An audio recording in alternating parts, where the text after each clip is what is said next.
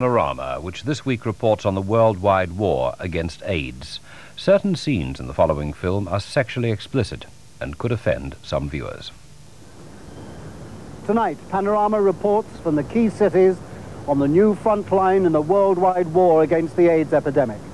From Sao Paulo, here in Brazil, where government inertia has allowed AIDS to run out of control with alarming consequences. From Munich and Bavaria, where excessive official intervention threatens to destroy the balance between the rights of the individual and the public interest. From Minneapolis, St. Paul, where the Americans think they've worked out how to manage the AIDS epidemic in both an effective and humane way.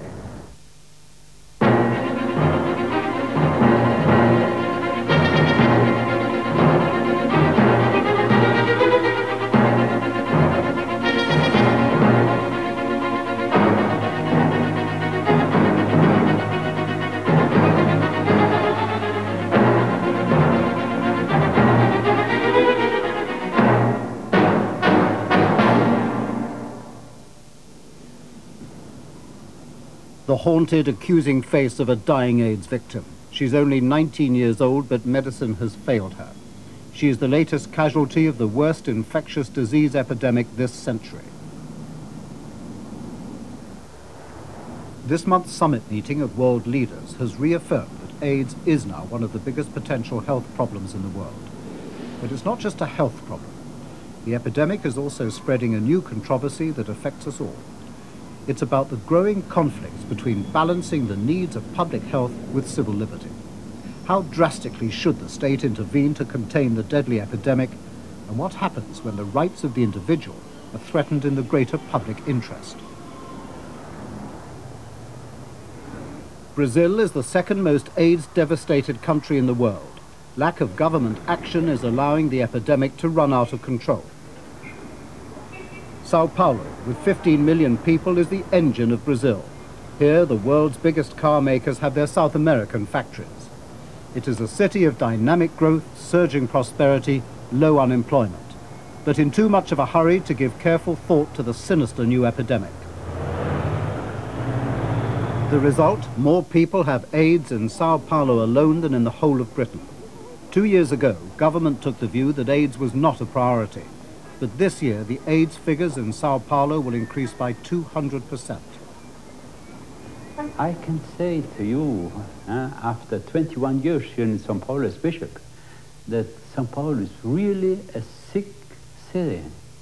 Everywhere you will find people asking you for help.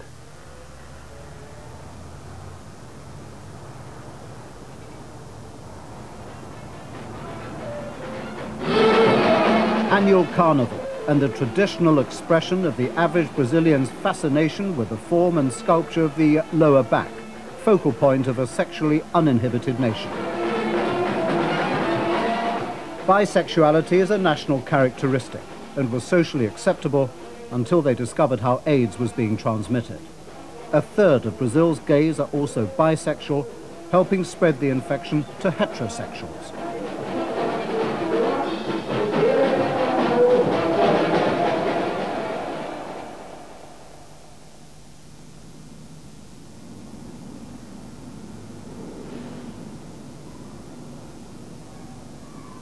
A federal media campaign to warn against AIDS, miserably underfunded and shown too late at night, was a predictable failure. A frank poster campaign pushing condoms failed too, in the face of objections from the conservative wing of the Catholic Church. The Sao Paulo AIDS program director is fighting the epidemic without enough money, staff or federal government help. Dr. Paulo Teixeira knows there are at least 100,000 people in his city infected with the AIDS virus yet the bureaucracy denies him the basic tools to fight back. Dr. Teixeira has no epidemiologist charting the precise course of the epidemic and no computers to make the necessary predictions. He's also in charge of running South America's only AIDS-dedicated hospital, but because of the fear and ignorance of the local nurses, half the beds remain empty. He's only been able to recruit enough staff to run 37 out of 65 beds, so the city is now in the position of having only a total of 173 AIDS beds, but over a thousand AIDS patients. As a result, men and women are paying to die in the shabby guest houses on the outskirts of the city, and the epidemic continues unchecked. I believe it's out of control now. Until they start doing something, it's out of control. It's spreading and no one's really trying to do anything about it. The cases are occurring more and more and more all the time. And there'll be more people who are infected through blood transfusion and uh, it's not being stopped. Why is there such a lack of federal government control? I wish I knew why there was so little interest. It's been very, we've been trying to get the, the government to take firm action and they really have been terribly slow to do anything. At Brazil's main medical research centre, British-born Dr. Peggy Pereira works as the Health Ministry's scientific advisor on AIDS. She's fought unsuccessfully just to get mandatory blood screening introduced. One in every 500 people here given a blood transfusion get the AIDS virus with it. When I came last year uh, and brought up the question of the blood transfusion, they said it wasn't a priority. I couldn't believe my ears. You know, it seemed to me such a, a first thing to be dealt with before you started anything else. But they said, no, education is what we will be doing.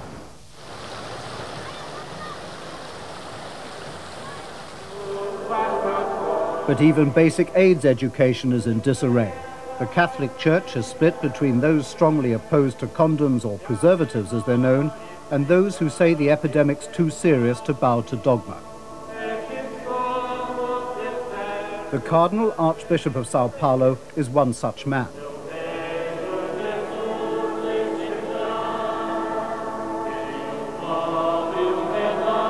What would you then say to a married man who comes to you for advice, supposing he's bisexual, and he says, I want to take my wife to bed, I have the AIDS virus, I want to take her to bed, the only way I can stop giving her AIDS is to use a preservative.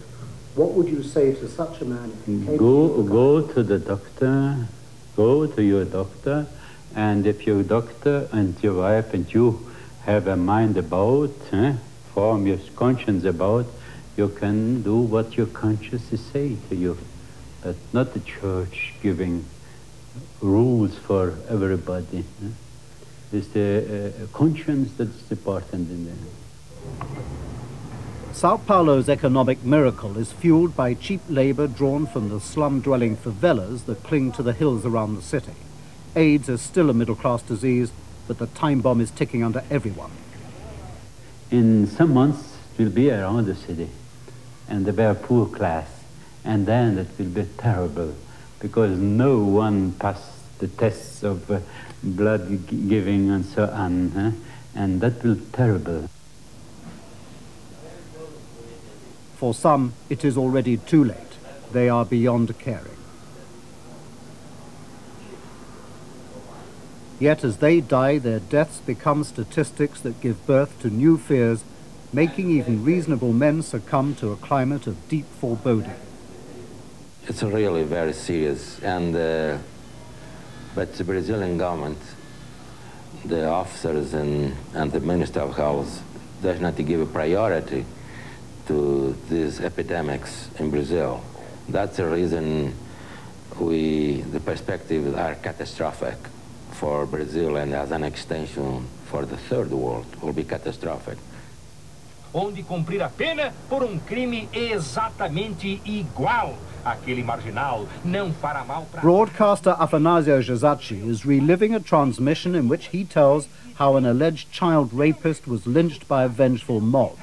He loathes homosexuals too. Those with AIDS, he says, should be shipped to Brazil's old leper colonies for detention. Que nós, pessoas normais. His hate radio transmissions might have less significance were it not that he's just been elected a state congressman with a huge majority. Sao Paulo's morning newspaper graphically recorded the consequence of the growing AIDS panic with these drawings of a murderous attack on transvestite prostitutes blamed by the hard right for the AIDS epidemic.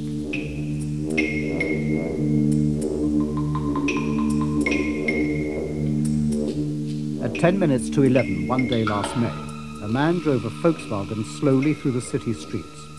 Weeks earlier, the police had launched Operation Tarantula, ostensibly to arrest transvestites.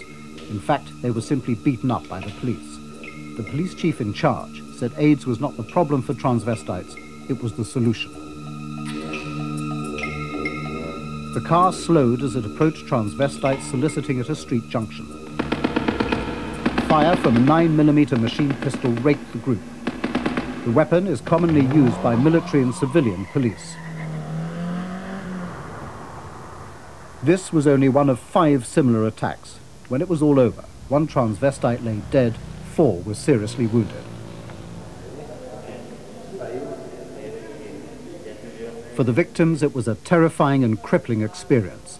However, the bullets were small enough to pass through the body without causing death. All the victims will be scarred for life and remain a target for the city's illogical panic.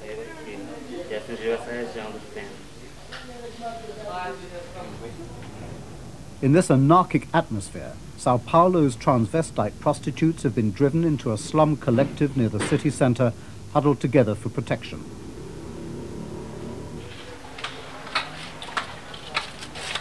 All the people in this house are young men, all sell sex professionally. Their leader is an older transsexual called Brenda Lee. Brenda is a sort of one-man private health department, housing, feeding and organizing youngsters in his care. One sleeping transvestite had been beaten up by his client. Brenda showed me the Dickensian circumstances to which they've been driven. These are the very people who most need official help, medical and emotional, if AIDS is to be halted. Tragically, nearly all these simple and childish young men already have or soon will contract the AIDS virus. Without education and treatment, they will simply continue to infect others who, like them, will die. But instead of official protection, they get only official persecution. Aconteceu que se nós já sofremos muitos massacres, esse foi um dos piores, dos últimos que nós, que nós tivemos, né? Então o policiamento estava muito forte, muito rígido, levava, é, massacrava, prendia, não soltava, alegava que era uma ordem do secretário de segurança, né? E na realidade é que além de eles prenderem, eles torturavam, quer dizer, massacravam, batiam mesmo. Chegou algumas a ficar bastante ferida, né? E eles ameaçando de ficar 30, 40 dias, e a gente sem saber qual era o motivo, qual a razão de tudo isso. Sao Paulo remains a warning of what can happen when government is overwhelmed into inactivity by the AIDS problem. Historically, in an epidemic, the people turn first to medicine. When that fails, they turn to the law, and when that fails too, they turn on themselves.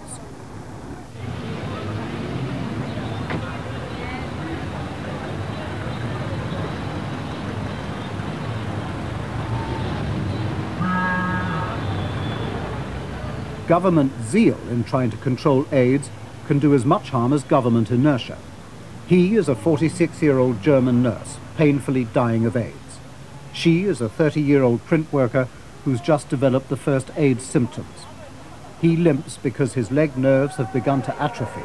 Soon, gangrene will begin to develop in his foot. He is shunned by family and friends because in Bavaria, AIDS is treated like the plague. She was told she had the virus two years ago, but still remains terrified of telling her family, her employer, or her landlord. Since the death sentence was pronounced on her, she has maintained sexual and emotional abstinence. But government, in trying to control her, has simply driven her underground.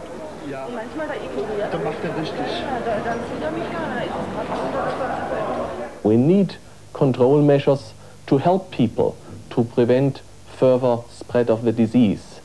And I think we should consider that people being dead cannot execute personal rights anymore.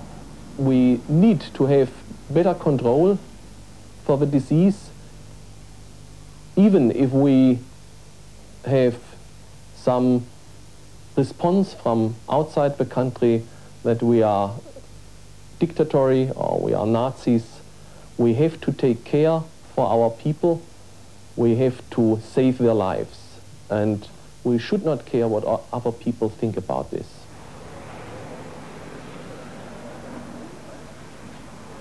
Munich, the capital of the state of Bavaria in the Federal Republic of West Germany, a prosperous and healthy city. Its super clean streets house fashionable cafes where the satisfied contemplate a pretty good life. Unkind critics may call Munich the bourgeois capital of southern Europe, but the tradition is conservative and Catholic.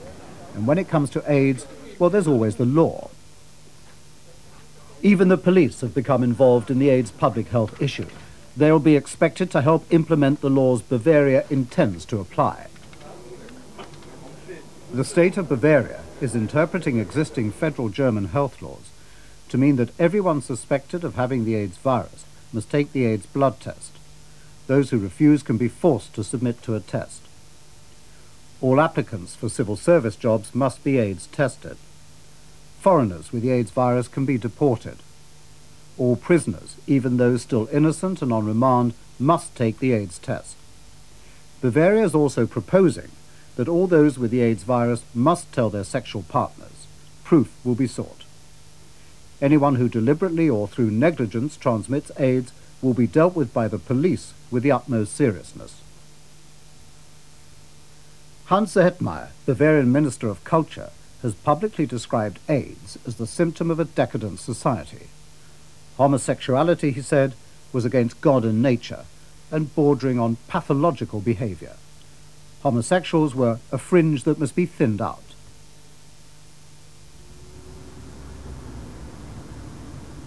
And the minister is no odd man out on the subject of AIDS and homosexuals. Full support comes from a much more powerful state official and the real architect of the Munich laws.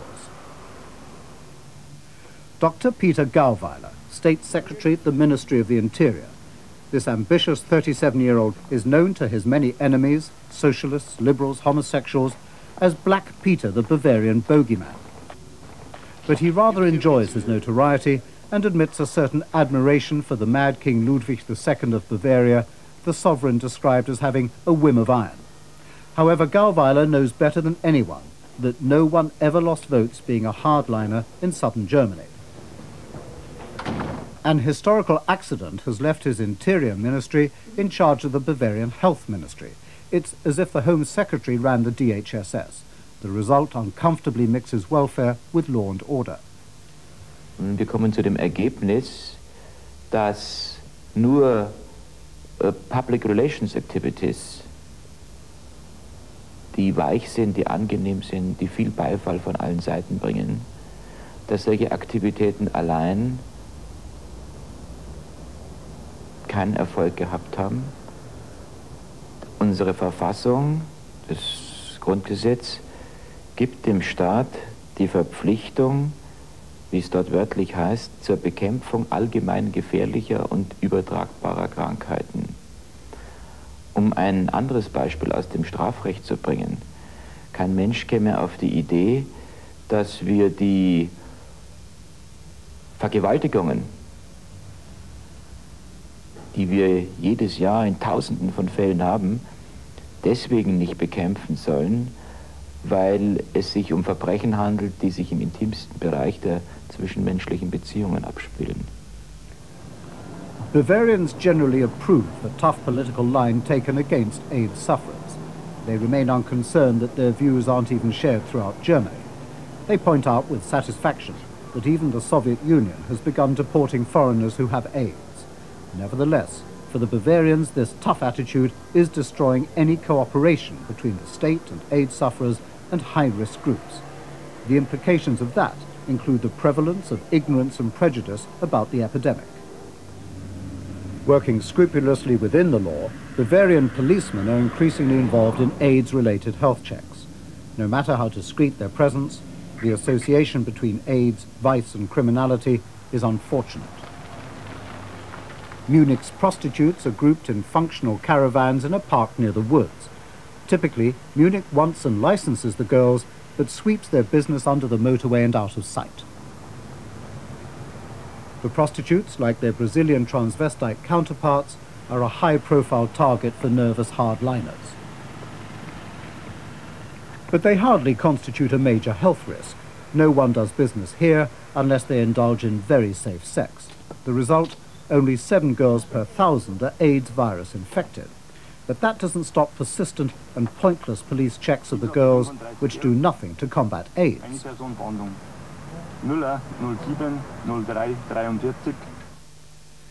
This was one of a handful of homosexual frequented saunas in Munich. Some people may have come to lose weight, but most came for sex and didn't disguise it. The sauna was forced to close after the city authorities decided it was a public danger because it promoted the spread of AIDS. Today it's a small, intimate hotel.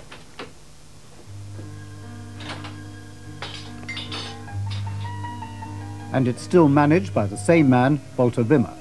He says it's crazy to have closed the sauna because most of the old crowd are now back on the streets, in parks and public toilets, placing innocent people at risk. He's angry about the civil rights implications too. Warum so ärgerlich? Bin ganz einfach. Wenn ich sehe, was Gauweiler macht, so, solche Leute waren doch im Dritten Reich schon. Wir haben ja solche ähnliche Leute oder sowas im Dritten Reich gehabt. Allein diese Aussprüche von Herrn Zehenmeier, dass man äh, diese Leute, speziell Schwule, ausdünnen muss. Das sind Sätze, die man im Dritten Reich gehört hat. Wenn ich heute Videofilme sehe oder Filme aus dem Dritten Reich, genauso hat man geschrien oder solche Sätze, solche ähnliche im Dritten Reich gebracht. Und das ist gefährlich. Und was Herr Gauweiler macht, mit Schwule einschüchtern, nur einschüchtern zu wollen, ja, und er allein die Macht hat in Bayern, das ist ja wirklich zum Schämen, wenn man dann Deutscher ist und in Bayern wohnen muss hier speziell in Bayern ein Mann machen kann, was er will. Gesetze schaffen, die, wo andere in Bonn dagegen sind. Also da muss man schon sagen, wo sind wir? Sind wir 1933 oder schreiben wir 1987? The law on handing out condoms is so stringent that the local AIDS help group decided this Easter to try to circumvent the problem in an unusual way. They made and sold to gay bars in Munich some special Easter bunnies. Inside each one was a little packet, an extra Easter gift for those who might need it. But Bavaria's public health traditions have not always included high fuss. This institute, founded by Max von Pettenkofer, is now the city's leading medical research clinic. He was the 19th century founder of European medical hygiene, pioneering modern sewage systems and he taught the then sovereign nation of Bavaria how to fight cholera epidemics. But today a new order pervades the institute. Professor Frösner believes in compulsion when dealing with the modern epidemic of AIDS. He wants mandatory mass screening. We did such uh, testing for tuberculosis very efficiently. We do this with our cars. Every two years they have to be tested by some mechanics uh, it's a law in Germany and nobody reviews it. But people Re are not cars. Yes, I know, but uh, the life is the most precious good. And therefore we really have to enforce such measures. This is much How would you enforce it? You could have a big number of things. For example, you are registered at your place of living in most European countries. And uh, you get no passport if you have no test result. Or you do not get some uh, social security card. Also it's very easy to uh, make testing mandatory the state would punish you one way or the other yes there is no other way to uh, enforce such law but it's for the benefit of the community thousands of lives would be saved if we really enforce such a mass screening program. But his boss, the director of the institute, believes that consensus must triumph over compulsion. In my opinion, it is not a wise movement from a scientific point of view because, to my mind, it will not achieve what the people who want to do it hope to achieve. Uh, our strongest weapon is uh, the trust of the individuals we want to reach most, the risk groups. If we lose the trust through any legal measures which they interpret as being taken against them, we lose control of them. We lose the possibility of voluntary testing, which is obviously the most sensible way of doing it, and we do not have anymore the opportunity to counsel them as well as we do it today because they go underground. We're told again by, by the high-risk community in Munich that AIDS has effectively gone underground, and the very people that you, the medical Yes. people and the epidemiologists should be in contact with, you are missing because they're frightened of even Yes. talking to you. Yes. Does that worry you? Yeah, uh, this could have been ex expected. Uh, and therefore, because of this situation, mass screening is the only way to deal with the problem. But they're not, you're not even going to find them if they've gone underground. no, if you do a mass screening of the total population, you find everybody. How can you? These are people who have vanished from their homes, from their lodgings. Or there are not many people without any homes. These are only very few terrorists in Germany which cannot be traced. And these are not important for the spread of AIDS because they have no contact to the normal population. You'll find these people whatever it takes. Yes, that's no problem. For Bavaria's public health department, the political pressures to get tough in the fight against AIDS has produced tension between managers, their social workers, and the high-risk groups. The senior doctors, however, are toeing the party line. Als Arzt des öffentlichen Gesundheitsdienstes muss ich demokratisch beschlossene Gesetze und Bestimmungen vollziehen. Und dazu bekenne ich mich, sonst würde ich einen anderen Beruf ergreifen oder würde in einer anderen Dienststelle arbeiten.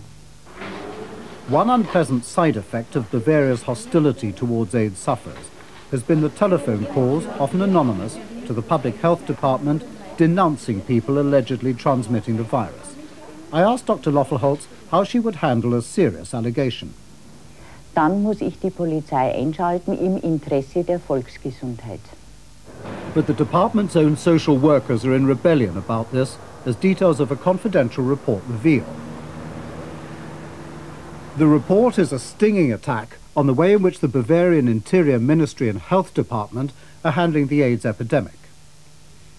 In our experience, the climate of trust between helpers and victims has been seriously disturbed. The social workers said they were detecting a new hostility and aggression towards homosexuals amongst working class youngsters. Some of these youths even wanted AIDS victims publicly branded on their faces. We are worried that there is a tendency towards discrimination by the public against all social minorities as a consequence of the repressive combating of AIDS. The main author of that report is senior social worker Rainer Albrecht, who works at street level with homosexuals and drug addicts fighting the AIDS epidemic. I can see and I can feel that the atmosphere has changed in the last few months very intensively, very, uh, in a very bad way. Uh, it's um, an atmosphere of fear, of uh, repression, of uh, discrimination. And a lot of people there, uh, they, they uh, avoid to say that they are gay. They, uh, they want to be uh, just normal people. They are afraid of going to bars, to gay bars. They are afraid to um, have their coming out as young people, something like that. I think that's really significant. But for the stricken victims of the epidemic, any debate on social control is coming too late. Shunned by those who instinctively believe in retribution for sinners and seek supporting legislation, they are already disappearing underground beyond help. But who really cares? Die Behauptung, dass dadurch Menschen in den Untergrund getrieben werden, äh, gehört zu den äh, frommen Märchen, mit denen eine wirkungsvolle Bekämpfung von AIDS seit langem zerredet wird. Um welchen Personenkreis geht es bei behördlichen Maßnahmen? Stricher, männliche Prostituierte, Dirnen, Fixer, Drogenabhängige, Sträflinge, das mit oder ohne AIDS klassische Klientel unserer Gesundheitsbehörden. Wohin wollen die abtauchen? Die sind schon ganz unten. My advice to Dr. Gauweiler would be to give us his tremendous energies uh, into the right direction, friendly persuasion, education, in order to solve the problem in a medically sound way.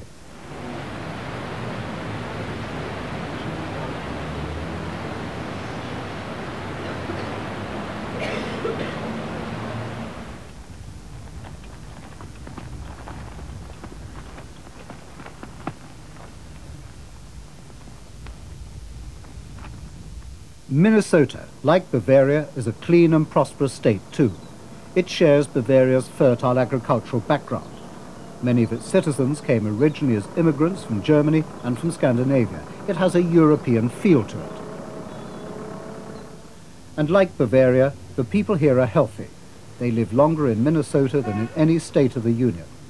But when it comes to fighting the AIDS epidemic, any comparison with South Germany ends abruptly. Minnesota probably leads the world in the enlightened management of the AIDS epidemic. It has neither too many laws like Germany nor too few like Brazil.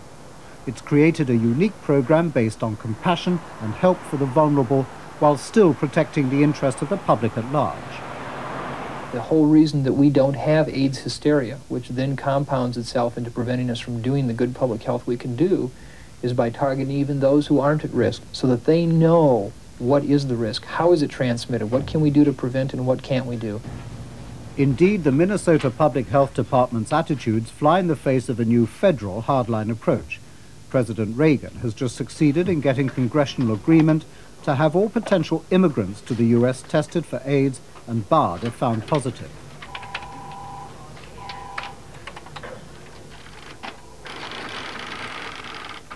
However, unlike Brazil, Minnesota has the technology and it also has an epidemiologist who takes responsibility.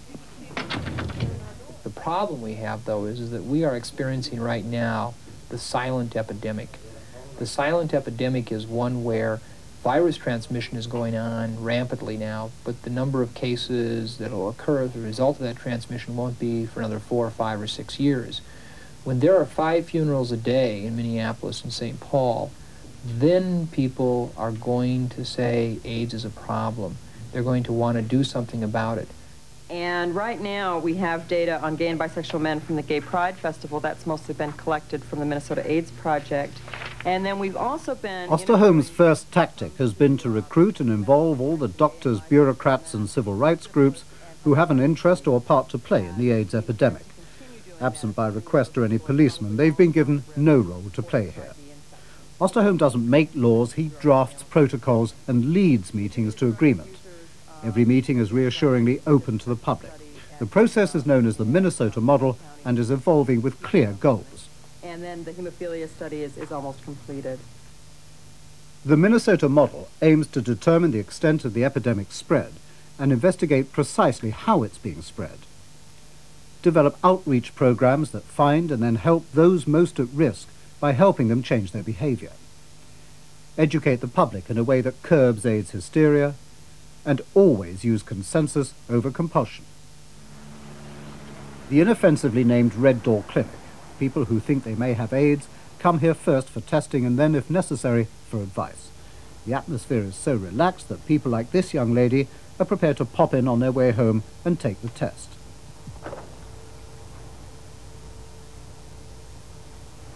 It certainly wasn't compulsion that brought her here. Well, there was um, an ad on TV. They were talking about AIDS and saying that, that, that free tests were available through the Red Door Clinic. And um, it was something I'd been thinking about for a while. Um, I have a past that's probably a little more active than I wish it were. And there's a lot of things that I don't know about the people that I've met. And I'm worried about it. So I thought, well, one way to know is to get the test done. Then I can either forget about it or at least be careful from now on. Or if I do find out that I have it, that'll make me make different decisions than I'll make if I don't have AIDS.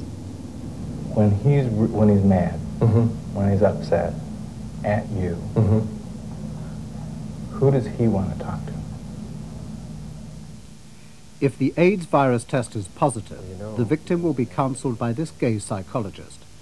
He must, at this difficult time, maintain calm, but also coax from the stunned patient the names of others who are now at risk. Would you be willing today at all to talk about it, or do you want to just kind of stay away from it entirely? No, I'll talk about it. Okay. Thanks. Mm-hmm. One of the, one of the reasons I press that point is that, you know, in my business, I get the unfortunate opportunity to see a whole lot of people who kind of put off that issue right. and end up feeling bad about it. Um, well, I feel guilty I have reason to feel guilty, you know, but that's about as far as I can take it. And then, So I'll talk what about it. happens when, when you say that's about as far as I can take it? What?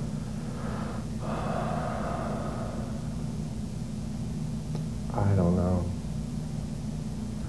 Do you have any sensation of what would reduce that guilt? What would relieve that guilt? Two people should be contacted. So you're real clear about that? Oh, yeah. No question? Right. Oh, okay. So you already got that in mind real clearly. And then the question becomes how to do that?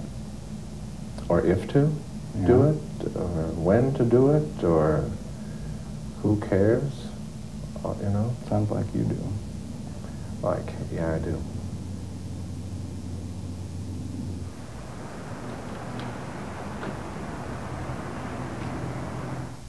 Consensus rather than compulsion? Oh, absolutely. Absolutely. Any sort of compulsory techniques are going to be counterproductive in the extreme. All they will do is drive this whole problem underground, will elicit defiance and outright hostility on the part of the very high-risk individuals you're trying to reach. Instead, what we have found, if by and large we treat people respectfully and elicit their cooperation, they will come through for us 100%. If I expect, however, that someone is going to go out and make a hash of it, by George, he'll go out and make a hash of it. This is an unmarked car belonging to Minnesota's Public Health Department. Even the license plates are selected to guarantee anonymity. Steve, the driver, is an AIDS detective. His job is to help trace AIDS contacts very discreetly and warn them. I've met people in shopping center parking lots, at their homes, in parks, in my car, a variety of places. Um, for the most part, it's, it's wherever the uh, individual feels most comfortable. Steve's most delicate assignment is finding, then personally contacting, the large number of so-called closet gays, homosexuals, often married men with children, who dare not admit they are gay. This places their wives and loved ones at particular risk. But should the Public Health Department handle that deeply intimate problem, and if so, how? So you have to coax him out. It's not a matter, I think, of even coaxing someone out at that point. Denial is something that isn't often broken by gentle tugging. I think there are times that it's, it's frankly a very cold fact that needs to hit someone square in the face. That can be done, I think, though, with a great deal of sensitivity. That can be done with all the fullest aspects of confidentiality. And that can be done in what has historically been uh, the public health approach. That's what we're attempting to do in Minnesota, is tie that together in such a way as to help that individual come to the realization of what risk they're at for getting infected and what risk they're at of putting others at risk for infection. The state health department recognizes the inevitability of homosexual prostitution and reaches out to help the protagonists. Using streetwise social workers, it tries, as in this case, to help this youngster whose trade is pulling tricks, picking up men for commercial sex. Well, like pulling tricks and stuff, I just, I feel like it's more or less like I'll take the chance, you know, and just, you know, I want the money. yeah. You know, it's like, and it's more like surviving, you know, you're thinking about surviving more than anything else or your next meal because we, we haven't, you know, I don't eat that well. And, it's kind of I know. It's anything like I junk get. food city. Right, right. You've seen my place. Chips and uh, Zozos and all kinds Mhm, of garbage. Mm-hmm. I know. Well, what do you think? See, I mean, I, you know, and I don't know whether you're going to want to try it or not, but I, I think you got to be thinking about whether or not you're putting yourself in a situation where you might risk it's going to kill you. I know. The counselor, he's with the Lutheran Social Services on attachment to the Public Health Department, offers the usual sound advice to a man at risk to himself and his clients. Tell them I can get them some. But try them out. I mean, see what happens when you try and use them.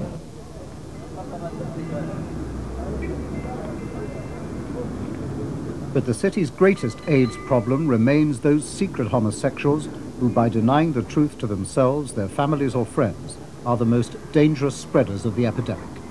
They live in the twilight world of anonymous pickup joints or pornographic book and video stores.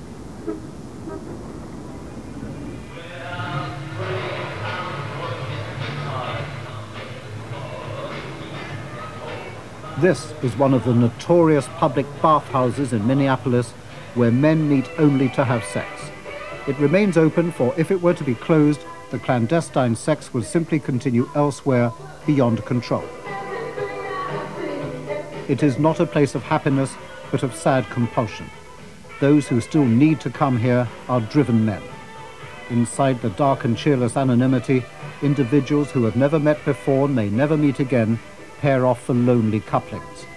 It was from the bathhouse institution that the AIDS epidemic first began its dreadful escape to Main Street, USA, and then the world. Some of the customers may be beyond education, but at least the management tries. You're in locker 60. If you want a condom, just let me know now, and I'll give it to you now, or you want one later, just let me know. Thank you.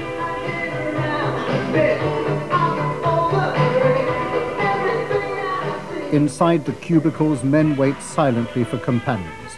The doors are now closed to reason and common sense, but sooner or later, these people must be reached too.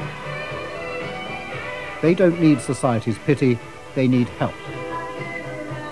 And that unenviable job is done by volunteer gay social workers from the Public Health Department who trace the almost untraceable and then quietly talk to them. They're uh, very good for anal sex. We strongly recommend are going to be doing that use a condom always. That you not um, uh, leave it in your pocket and that you not leave it on the shelf, but put it on before you have sex. In Minnesota, it's still too early to predict success, but some small battles are being won for common sense and for public health. We've raised consciousness about sexual activity and risk. Um, several years ago, there used to be an orgy room here, which is a space where anything goes. That's gone. Um, people are much more careful about the activities they perform. Um, at one time, before AIDS, uh, people basically did what they pleased, and their only concern was the usual venereal diseases.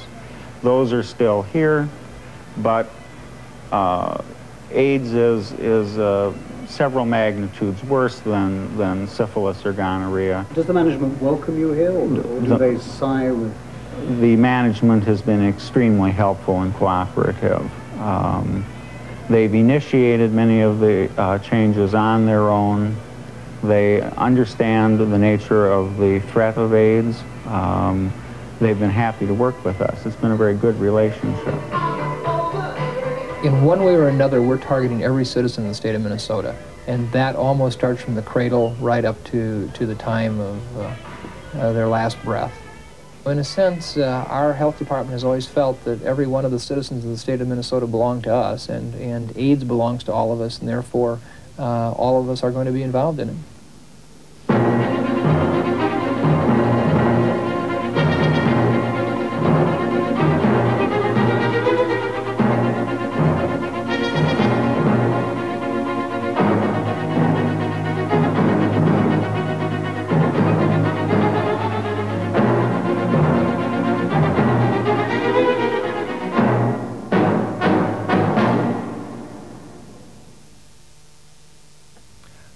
An article by Tom Mangold linked to that programme in Thursday's edition of The Listener.